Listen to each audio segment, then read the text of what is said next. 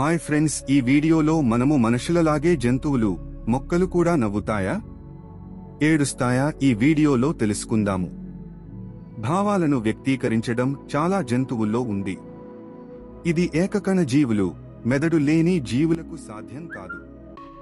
ఎందుకంటే భావం అంటేనే పరిసర పరిజ్ఞానాన్ని పొందడం దాన్ని జ్ఞాపకంగా పదిలపరుచుకోవడం ఆ సమాచారం ఆధారంగా తోటి జీవితో తన ప్రవర్తనను నిర్ణయించుకోవడం అన్నమాట. మెదడున్న జీవులన్నీ వివిధ పద్ధతుల్లో సమాచారాన్ని ఇచ్చిపుచ్చుకుంటాయి. మనుషుల్లో కన్నీరు ఏడుపు దిగులు మొహాన్ని చాటే కండరాల ప్రవృత్తి లాంటి రూపాల్లో దుఃఖం ప్రదర్శితమైతే నవ్వు మెరిసే కళ్ళు లాంటి ప్రవృత్తుల ద్వారా ఆనందం ప్రకటితమవుతూ ఉంటుంది.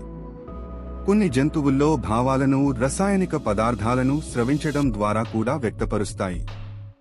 హార్మోను వ్యవస్థ ఉన్న జంతువుల్లో భావ వ్యక్తీకరణ ప్రస్ఫుటంగా ఉంటుంది.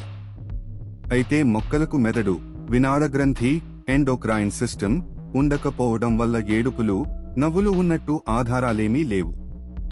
అయితే కొన్ని రసాయనాలను వెదజల్లడం ద్వారా సమాచార మార్పిడి జరుగుతుంది. ఇలాంటి మరియాన్నో వీడియోస్ కోసం మన ఛానల్ని సబ్స్క్రైబ్ చేసుకోండి.